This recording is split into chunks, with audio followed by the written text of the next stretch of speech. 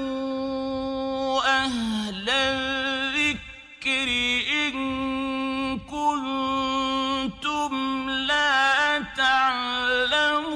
تعلمون আরেকটা উদাহরণ আমরা পাই রাসুলামের একজন খাদেম ছিলেন ছোট্ট বাচ্চা আর কি আহ, বাচ্চা মানে কম বয়সী আহ, রাবিয়া ইবনু কাব আল ইসলামী রাজিয়াল্লাহ আনহু উনি আহ, সব সাহাবি যখন রাত্রে শুয়ে পড়তেন তখন উনি তার বিছানায় বা দূরে কোথাও শুইতেন না। রসুল ইসলামের ঘরের দরজায়, দরজার বাইরে রসুলাম ঘর থেকে বের হলে যেখানে পা রাখবেন, ওই জায়গায় তিনি মাথা রেখে বা ওই জায়গায় মানে শুয়ে শুয়ে থাকতেন। ওই জায়গায় রাত্রে শুয়ে থাকতেন। তো তাকে রসলাম বলতো, তুমি এখানে শো কেন? বলছে রসল্লাহ আপনার খেদমতে কোনো প্রয়োজনে রাত্রে আপনি উঠবেন, তো কি লাগবে, না লাগবে? অন্য কেউ আপনার খেদমতে এগিয়ে আসার আগে আমি যেন আপনার খেদমতটা করতে পারি। তো রসলাম তার প্রতি খুশি হয়ে খুব খুশি হয়ে সন্তুষ্ট ছিলেন। গরিব সাহাবি ছিলেন আর কি, কম বয়সী তো রসলাম তাকে একদিন বললেন যে, তুমি আমার কাছে কিছু চাবে? কিছু চাও, আমি তোমাকে দিব। তো উনি সাহাবি বললেন যে, ইয়া রসল্লাহ আমাকে একটু সময় দেন, আমি একটু ভেবে দেখি। তো এইভাবে একদিন ভাবলেন, দুই দিন ভাবলেন, তিন দিন ভাবলেন, প্রত্যেকদিন রসলাম জিজ্ঞেস করেন যে, তুমি সিদ্ধান্ত নিয়েছো? কী চাও আমার কাছে? তুমি যা চাবে, আমি তোমাকে দেবো। তিন দিনের মাথায় আমি সংক্ষেপে বলছি আর কি। তিন দিনের মাথায় উনি বলছেন যে রসলাম বারবার আমাকে জিজ্ঞেস করছে, আমি উত্তর দিতে পারছি না, কি চাই? তো আমি আজকে উত্তর দিয়ে দেবো। এবার সিদ্ধান্ত নিয়ে রসলাম যখন জিজ্ঞেস করছেন তৃতীয় দিন বা চতুর্থ দিন, তখন উনি উত্তর দিয়েছেন। উনি চাইলেন, কি চাইলেন রসলামের কাছে? বললেন যে আস আলুকা ফিল জান্না ইয়া রসল্লাহ আপনার কাছে আমি যেটা চাই সেটা হলো, জান্নাতে আপনার কাছাকাছি থাকতে চাই। কাছে কাছে কোথাও থাকতে চাই। এটা চাইলেন রসলাম বললেন যে আওয়াগাই রাজা আলেক বললেন যে আচ্ছা অন্য কিছু তুমি কি চাও? সেটা বলো। তো রসল তিনি বললেন যে না। তো রসলাম বললেন যে তোমাকে এটা কে শিখাই দিছে? তো বলছে যে না আমি কাউ শিখাই দেয় না আমি ভাবলাম যে দুনিয়ার কোনো রাজা বাদশাহ যদি আমাকে এটা বলতো তাহলে একটা সন্দেহের অবকাশও ছিল যে দিবে কি দিবে না। কিন্তু আপনি যখন বলেছেন নিঃসন্দেহে আপনি দিবেন এতে আমার কোনো ইয়া নাই আর কি। বাগান যদি চায় উটের পাল যদি চাই আহ, বাড়ি ঘর যদি চাই সব আপনি দিবেন, নিঃসন্দেহে দিবেন, আমার কোনো মানে সন্দেহ নাই, আমি বিশ্বাস করি। কিন্তু এগুলো সব নিয়ে আমাকে সব রেখে যেতে হবে, অথচ এগুলোর হিসেব আমাকে দিতে হবে। তো এইভাবে তিনি বললেন যে, না যেগুলো আমাকে রেখে চলে যেতে হবে দুনিয়া থেকে, এগুলো আমি নিয়ে কী করব? এমন একটা জিনিস চাই, যেটা আমার কাছ থেকে কোনো দিন হারাবে না। আর সেটা হলো আপনার সাথে জান্নাতের কাছাকাছি, জান্নাতে আপনার কাছাকাছি থাকতে যেন পারি, আমি এটা আপনাকে চাইলাম। আল্লাহ আকবর। তো রসুলাম তাকে বললেন যে, ঠিক আছে, তাহলে তুমি আমাকে হেল্প করো, বেশি বেশি সাজদা করবে, তার মানে সালাত বেশি আদায় করবে। তো এই যে একটা মানুষের দেখেন রাসুসাল্লামকে ভালোবাসা, দিনের প্রতি ভালোবাসা, তার দুনিয়ার বিরাট সম্পদ, বড় বড় সম্পদকে মানে পায়ে ঠেলে কীভাবে আল্লাহর সন্তুষ্টির জন্য এবাদ বন্দি করছে। তো এগুলো হলো মহসিনদের দৃষ্টান্ত। অনুরূপভাবে একজন সাহাবি ছিলেন জাহির রাজিয়াল্লাহ আনহু। তো রসালাম একটা ঘোড়া কিনেছিলেন, সংক্ষেপে বলছি। তো পরে এক ইহুদি সেই ঘোড়াটার বিক্রি করার বিষয়টা অস্বীকার করল যে, না, আমি বেশি নাই। কারণ ঘোড়া আসলে বেশি দামে আর একজন গ্রাহক পেয়ে গেছিল ইহুদি আর কি। এই জন্য রসালামের ব্যাপারে মিথ্যা বলল যে, আমি আপনার কাছে বিক্রি করি নাই। এটা নিয়ে একটু কথা হচ্ছিল।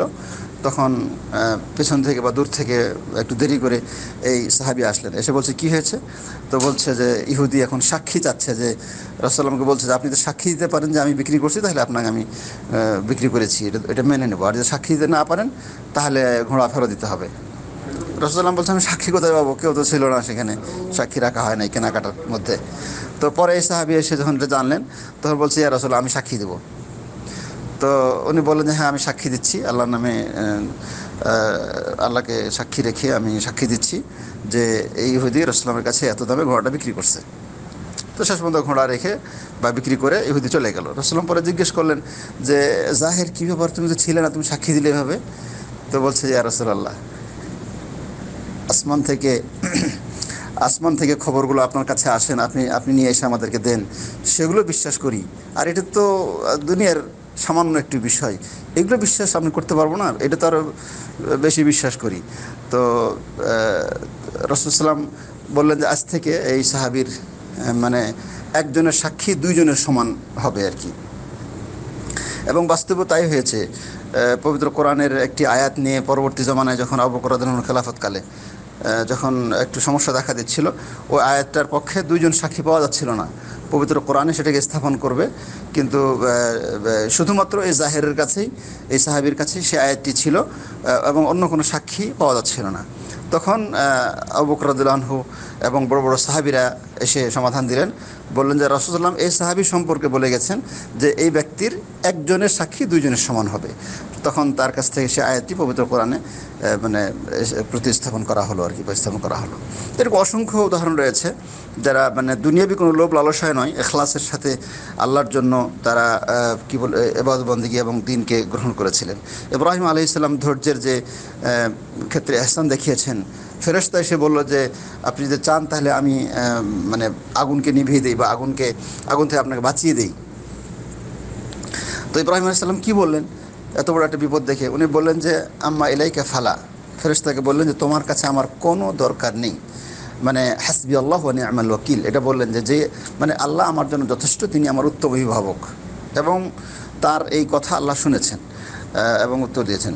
ইউনুস আলাইসাল্লাম মাছের পেটে যখন চলে গেলেন, তখন তিনি এহসানের সাথে, ধৈর্যের সাথে আল্লাহর কাছে কান্নাকাটি করেছেন, দোয়া করেছেন, লা ইলাহিল্লান তসবাহানাকে নিকুন্দমিন জালিমিন আমাদের প্রিয় রসুল সাল্লাহ সাল্লাম যখন হিজরতের সময় গারে থৌরের মধ্যে আত্মগোপন করেছিলেন, তখন পরিস্থিতির ভয়াবহতায় আবকরদুল্লাহ আনহু বিচলিত হয়ে গেছিলেন। কিন্তু রসুল সাল্লাম এহসানের চরম পরাকাষ্ঠায় তিনি অবস্থান করছিলেন এবং বলছিলেন যে, লা তাহজান আল্লাহর আল্লাহর পক্ষ থেকে ওয়াহি নাজিল হয়েছিল। লা তাহজান ইন আল্লাহ মায়না অবকর তুমি ভয় করো না। আল্লাহ আমাদের সাথে আছেন। এই যে একটা দৃঢ়তা, এটা হলো এহসানদের মহসিনদের স্তর। তো এইভাবে বহু দৃষ্টান্ত রয়েছে। তো সবগুলো তো বলা সম্ভব না, লম্বা হয়ে যাচ্ছে। আল্লাহ আমাদের তৌফিক দান করুন, যাতে করে আমরা সবাই মহসিনদের স্তরে যেতে পারি। আসসালামু আলাইকুম রহমতুল্লাহ।